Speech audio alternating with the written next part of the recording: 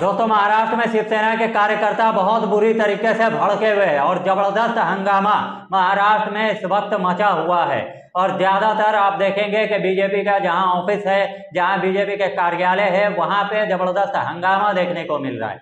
तारबूज फेंक फेंक कर मारा जा रहा है। बीजेपी के ऑफ़िस में, बीजेपी के नेताओं का जहाँ बड़ा बड़ा होर्डिंग लगा हुआ है, वहाँ पे तारबूज फेंक फेंक कर शिव सैनिक जो है, वो मार रहे क्योंकि गुस्सा दिखाई दे रहा क्योंकि आप जानते हैं कि जहाँ बीजेपी सरकार नहीं बना पाती, वहाँ पे बीजेपी को चोर दरवाज़ा समझ में आता जैसे कि मध्य प्रदेश की बात करें आप, और उसके बाद आप देख लीजिए कि महाराष्ट्र में भी वही सब होता हुआ दिखाई दे रहा है। उसके बाद मैं आपको बता दूँ कि किस तरीके से जो बीएमसी के पर्सनल लोग हैं, वो किस तरीके से बीजेपी का पोस्टर होर्डिंग जो है, वो हटाया जा रहा है बीजेपी के ऑफ़िस से, क्योंकि ज़बरदस्त हंगामा आप देखेंगे, महाराष्ट्र में मचा हुआ है। ये सारा का सारा वीडियो महाराष्ट्र से सामने आया है, जहाँ पे शिव सैनिक शिवसेना के कार्यकर्ता किस तरीके से भड़के हुए, क्योंकि बीजेपी ने चोर दरवाज़ा फिर से अपनाया है। आपको तो सब कुछ मालूम है कि कैसे वहाँ महाराष्ट्र में सरकार गिरने की कगार पे आ चुकी है।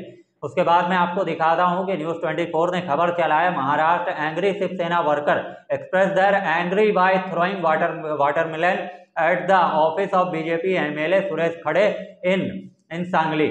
और उसके बाद बताया गया कि पुलिस वहाँ पे आकर कुछ लोगों को अरेस्ट भी करती है। उसके बाद आप देख लीजिए, ये भी न्यूज़ 24 की खबर है, Mumbai BMC personal remove BJP hoarding from outside BJP office. मतलब कि जो बीएमसी के लोग हैं वो वहाँ से बीजेपी का पोस्टर तक हटा रहे हैं। ये इस तरीके का आक्रोश जो है वो वहाँ पे देखने को मिल रहा है, क्योंकि आप जानते हैं कि महा विकास अघाड़ी मुंबई में सरकार है।